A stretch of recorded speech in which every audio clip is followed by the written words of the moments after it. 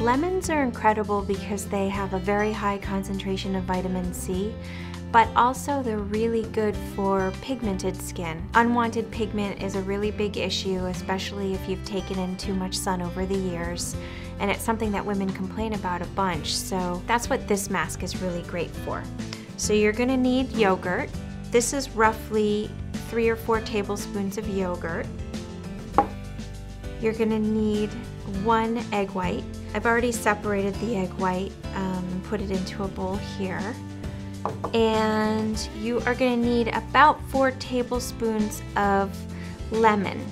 It's almost a whole lemon, so I'm just gonna cut this in half and I'm gonna squeeze this into my yogurt because this lemon is so juicy, it's organic. That's all I'm gonna need for this mask.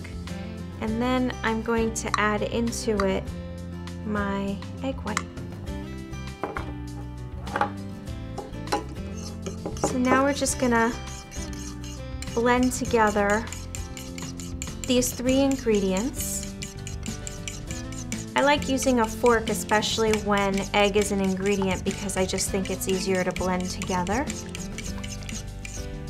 it's gonna be a nice looser consistency and it smells really fresh too.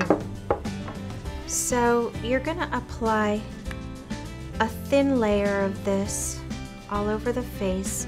You don't want to go near your eyes with this one because of the lemon juice because that'll be too acidic for your eye area. But see how nice and thin this goes on? Like I said before, lemon is really incredible um, for pigmented skin. Yogurt is very soothing and calming for the skin in general.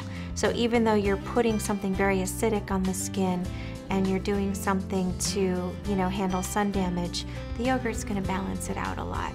And then the egg white is very clarifying as well.